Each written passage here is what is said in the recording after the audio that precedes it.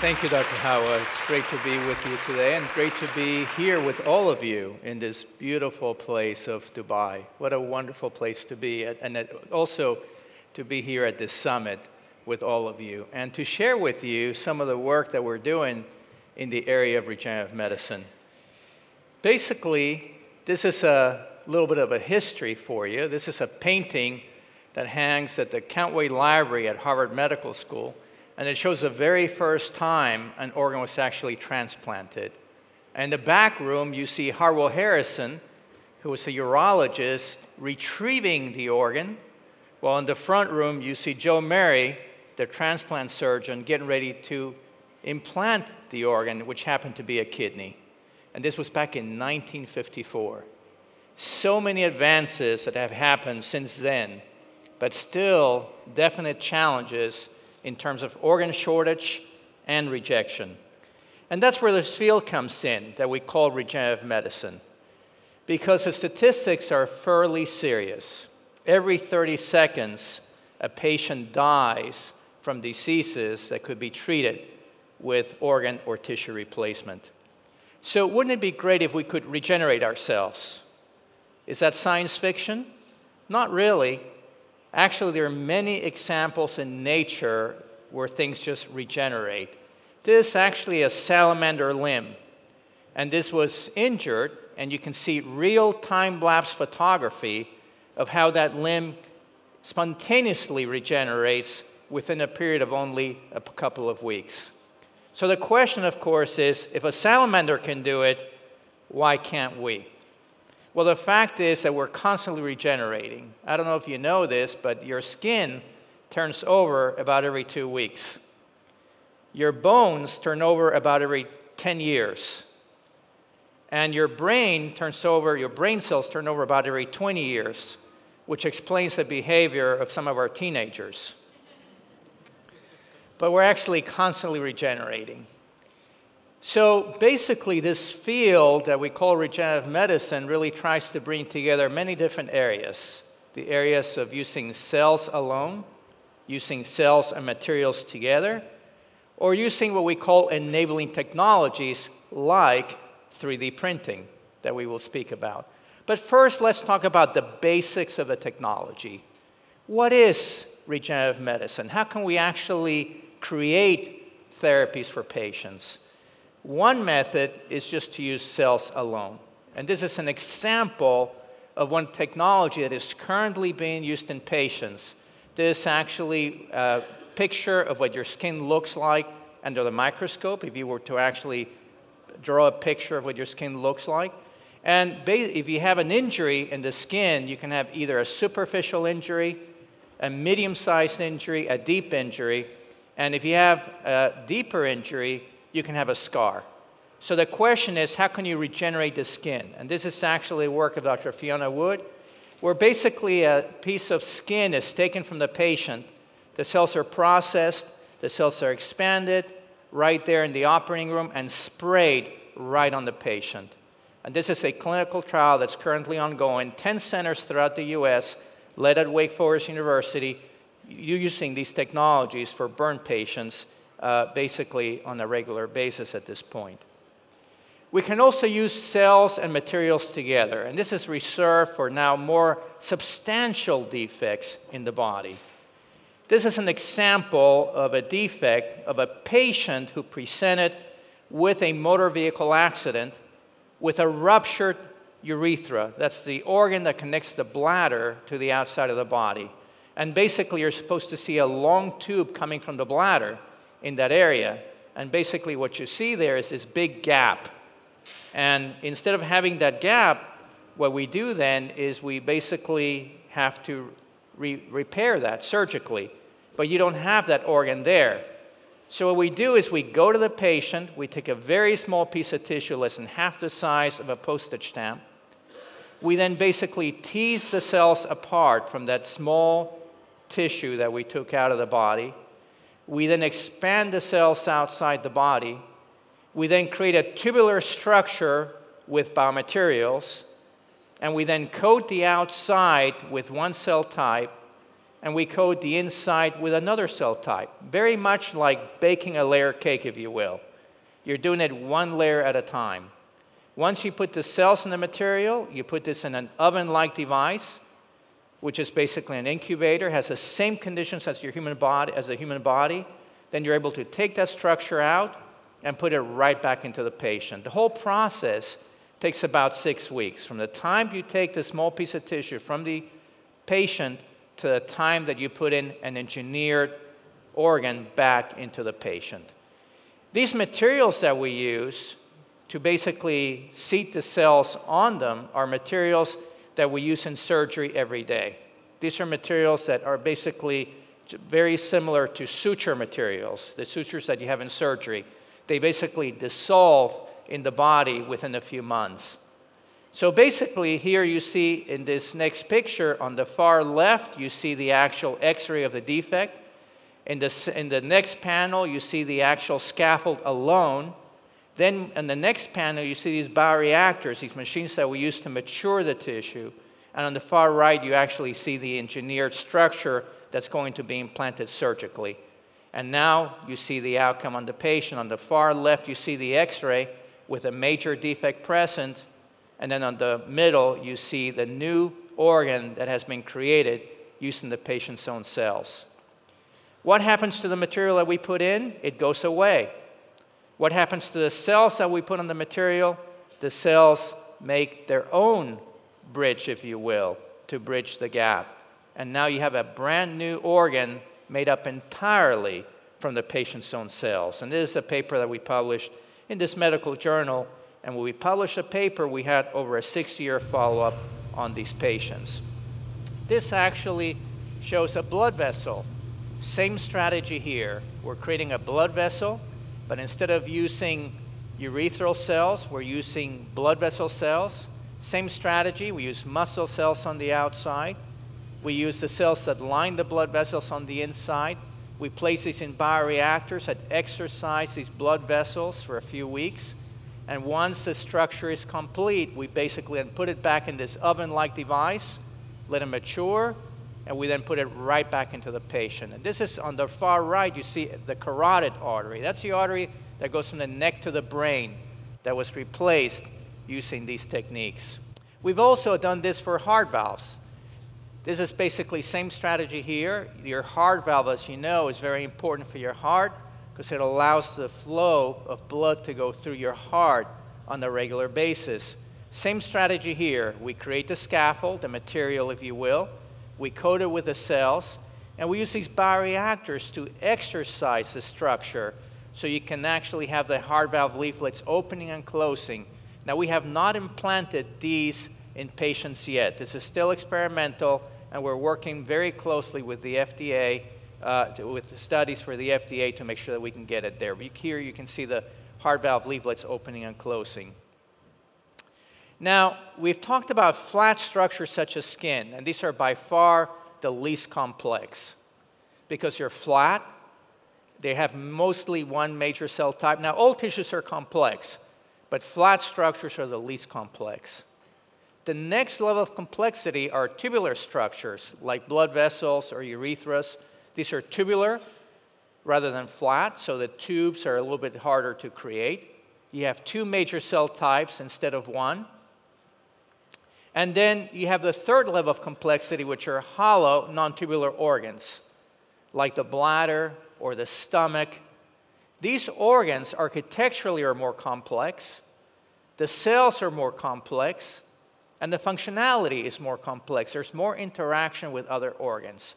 But the same strategy is what we follow. We basically go to the patient who has a deceased organ, the injured organ, we take a very small piece of tissue from the patient, less than half the size of a postage stamp. We then expand the cells outside the body, two major cell types.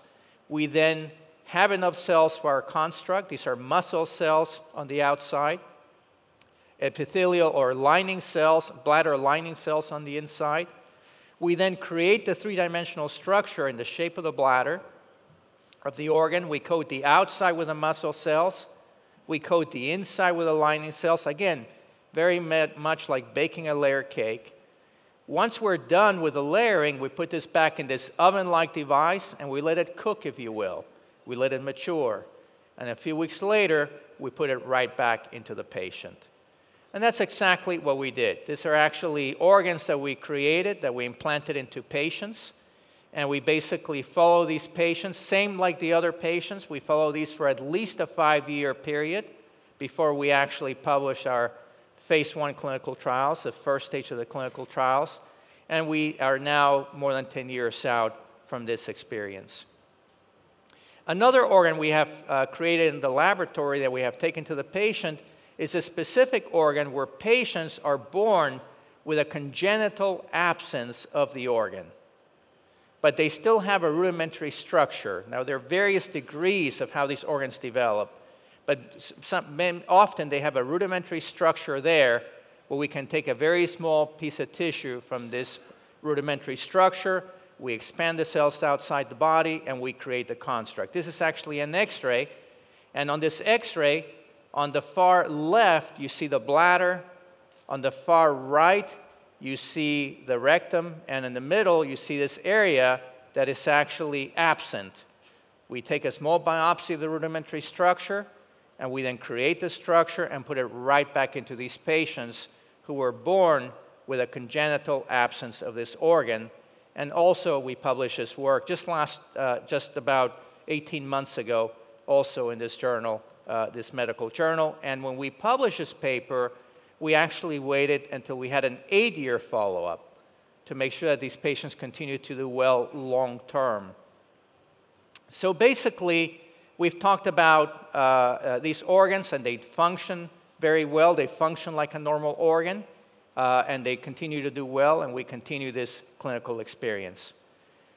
So, we've talked about flat structures such as skin, which are the least complex, tubular structures, which are the second level of complexity, hollow non-tubular organs, which are the third level of complexity, but by far the most complex organs are the solid organs like the liver or the heart. And these are much more complex and we're using various strategies to create these organs. For example, we take discard organs and we use very mild detergents to wash the cells away, and we're left with a skeleton of the organ, if you will, but we're able to preserve the blood vessel tree, as you see here in this liver. So basically, we wash the cells away, like put them in a washing machine. We then, once the cells are washed, we repopulate the cells with the patient's own cells creating these structures that function experimentally and preclinically just like a normal liver would in terms of metabolizing drugs and secreting the things that livers secrete. So now that we have this experience of creating these tissues and organs, the challenge really becomes how do we make sure that we can take these technologies where we create these organs by hand and how can we actually scale it up? how can we actually produce these in large quantities so that we can provide these organs for hundreds of thousands of patients who need them and to do so at a much more efficient way? And that's where bioprinting comes in. And we started looking at 3D printing over 11 years ago just as a way to scale up the production of these structures. 11 years ago, we had already put in some of our initial organs and we were thinking, how are we going to make this in an automated manner? How will we actually automate the process to make these organs in large quantities? So we basically started looking at 3D printing using your typical desktop inkjet printer. And the concept was that we would basically drop the cells just like if you were doing an inkjet printing in your desktop at home, but instead of using cells, instead of using ink, we would use cells. And we would have these cartridges, and, uh, and we modified these printers with a 3D elevator. So here you see the inkjet uh, cartridge. Instead of using ink, we're using cells. And here's your typical desktop inkjet printer from uh, 12 years ago, a Hewlett Packard printer, and it's going back and forth. Each time it went back and forth, there was a 3D elevator that lowered itself. This is a two chamber heart that was printed using these techniques. And basically, four hours later, this structure started beating, and these are the heart cells beating together. When we started doing this about uh, 11 to 12 years ago, we basically were using, again, your discard printers, and we realized that these structures, even though biologically the cells would survive, they did not have the structural integrity, the rigidity necessary for us to actually implant these in a patient. And that's really when we started to work on much more sophisticated printers that we built in our, at our institute. These are all uh, technologies that we brought together by building these structures that actually can now print tissues and, and structures that, in fact, have the structural integrity necessary to implant them. And the way that these work is that basically you have these, these uh, jets of uh, uh, cells that go down, and it's basically like building a pyramid, if you will. You're building it one block at a time and allowing channels to be built in through the printing process so that the blood flow can go through these organs and actually feed them and allow them to survive. The resolution of these printers is extremely high. We can actually print the size of 1 80th the diameter of a regular human hair. That's the type of resolution we can get with these printers. And basically, what we have done is we have worked extensively over the last 12 years building software systems that allow us to actually capture images from commercially available systems that are currently available in every major hospital, where this 3D imaging is actually available from an x ray. So uh, you go to the hospital, get an x ray. From the x ray, we can actually get this 3D imaging, and we can then download that 3D imaging into a digital file that gets converted and sent to the printer software, and it activates the printer to print the structure to replicate what the human organ looks like. And that's exactly what you see here, printing this kidney structure that you see in this video. And basically, we have also worked by engineering kidney structures. These are miniature kidneys that we have implanted preclinically, and they show the production of urine, and they basically have the functionality of what a normal kidney would have, but they're miniature kidneys. They're about the size of a small lemon. And the challenge for us is how do we create it? How do we move from the size of a small lemon to the size of a full size kidney? And that's what we're currently working on. So basically, the other thing that the printer gives us, in addition to automation, it gives us also precision. It allows us to place the cells exactly where we want them using very, very fine color that you see here, showing you how fine you can get the differentiation of the cells. And finally, it also gives you reproducibility. So the bioprinting system gives us scalability, reproducibility, and precision. And it allows us then to create these structures in a much more sophisticated manner.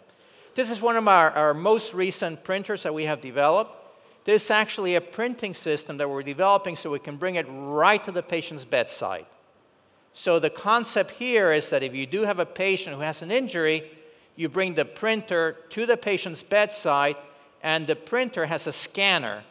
So first, the, the basically a scanner goes through and scans the wound, as you see in this uh, video pictorial. And then once the wound is scanned, the printer goes right back and prints right on the area, right where you need the cells. And that's the actual clinical unit that you see on the top right. This is just a video depicting how this works. Here's a scanner scanning the wound, and then the printer goes back and prints with the right cell type, with the right layering, right where you need it. How many people here just saw the last Avengers movie? So you saw some of the printing technology. There is this actually uh, uh, you know, they came to our lab actually to look at these printers, believe it or not.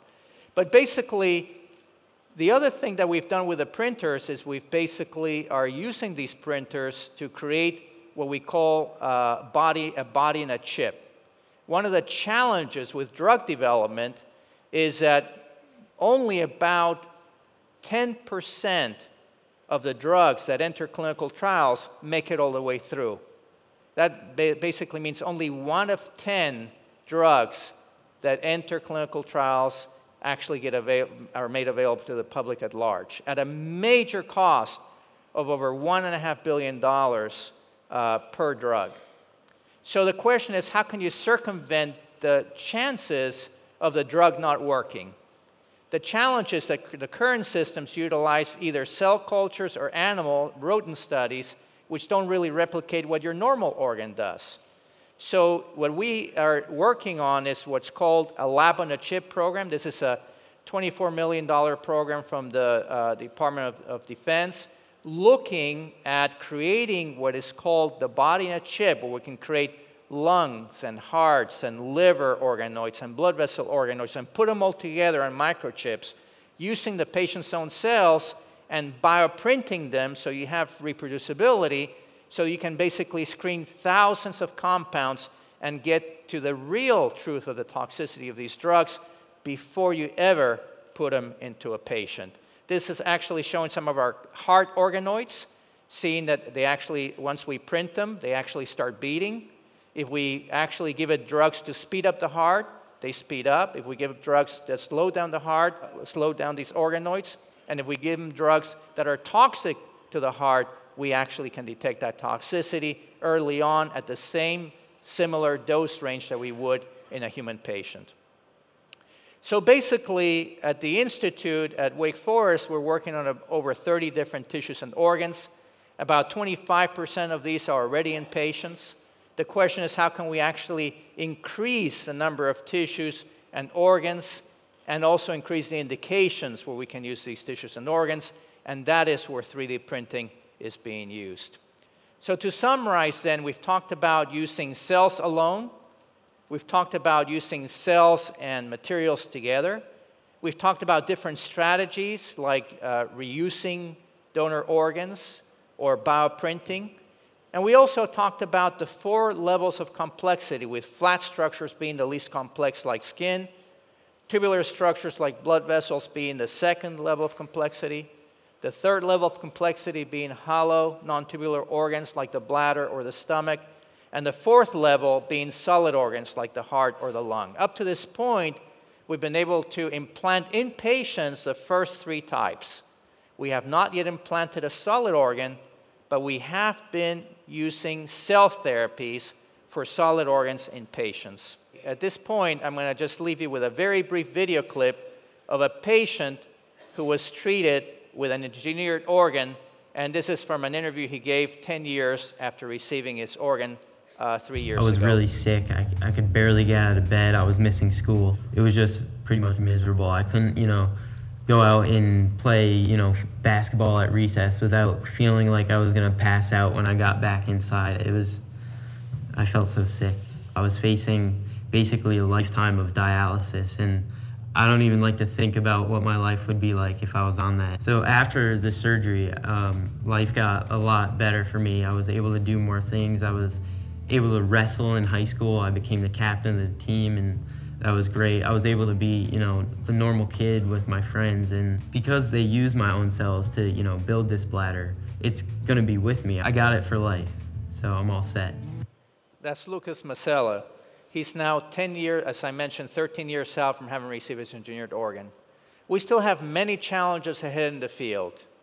We have regulatory, the length of the regulatory process, the cost of the technologies, the scale up of the technologies. But one thing is certain, and that is that we do have the potential with these strategies to make patients' lives better. And for us, that's the promise of regenerative medicine. Thank you for your attention today.